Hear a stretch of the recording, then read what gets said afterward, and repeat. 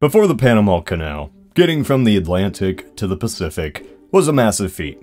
You had two options, the Strait of Magellan or the Drake Passage.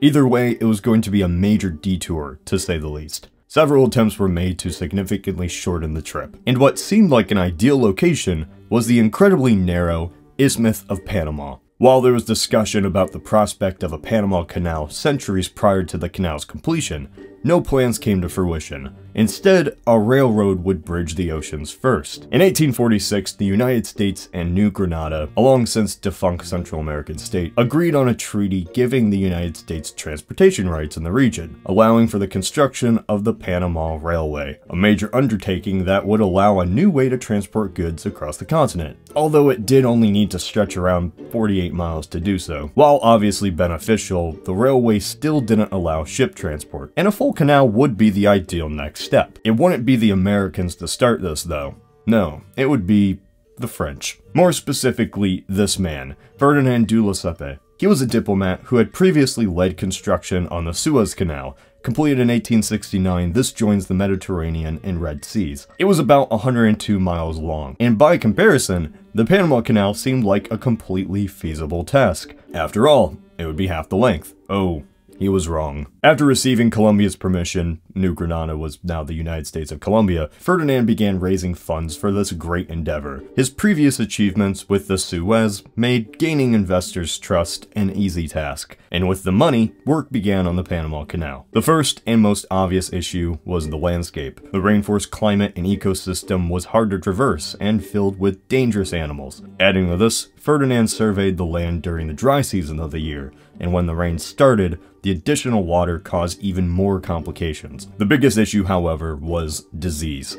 Malaria, yellow fever, and more contributed to the deaths of about 22,000 people. The construction project was in trouble, not to mention the money of its contributors. As funds dried up, construction stopped, and the canal remained unfinished. A new French company, run by this man, we'll just call him Felipe, came in control of the assets, but not to necessarily complete the canal. This company, literally called New Panama Canal Company, saw an opportunity to reach out to the Americans. The United States was at the time interested in a canal across Nicaragua, but with the benefits of equipment and partly excavated land, made Panama seem like the better choice. In 1903, a deal was reached by the US and a Colombian diplomat to grant the United States a land lease, but was rejected by the Colombian Senate. Teddy Roosevelt didn't take this rejection kindly. The head of the new Panama Canal Company and the Roosevelt administration collaborated in an effort to help a current Panama rebellion. The administration told the rebels to declare independence,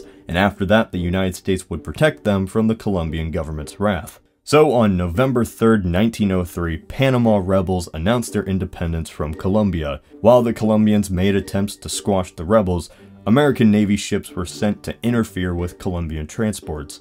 The American interference worked, and within 10 days, America recognized Panama as an independent country. On November 18, 1903, the Hay-Bunau-Varilla Treaty was signed. This was between the US and the newly formed Panama, giving the US control of the planned canal zone in exchange for a yearly fee plus an initial payment of $10 million. Finally, in 1904, the United States began work on the Panama Canal, buying the assets from the new Panama Canal Company. Ten years later, the canal was completed. Not without great cost, of course. It cost the equivalent of around 9 billion US dollars, adjusted for inflation, and about 5,600 additional lives were lost. The benefits were immediate, however, as ships could finally traverse the two large oceans without going around South America. The canal would become a distinct marker for the world's transportation and an asset of the United States. However, the distinct difference between the American-owned canal zone and Panama would grow as the decades progressed. On January 9, 1963, Panamanian citizens entered the canal zone attempting to put up Panama's flag next to the US flag.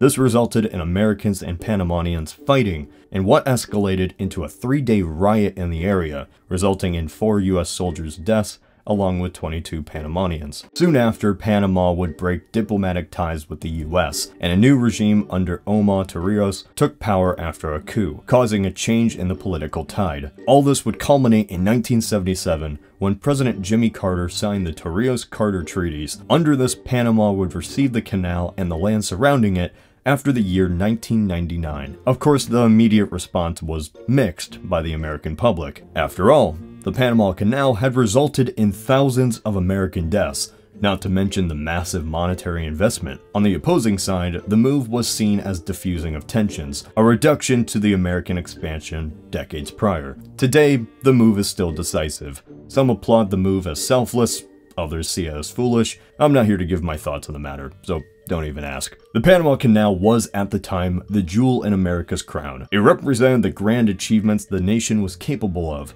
along with the expansionist attitudes within the Western Hemisphere. In a way, it's the culmination of attitudes and achievements. For better or worse, I'll let you decide. This is Cody of Knowledge Hub.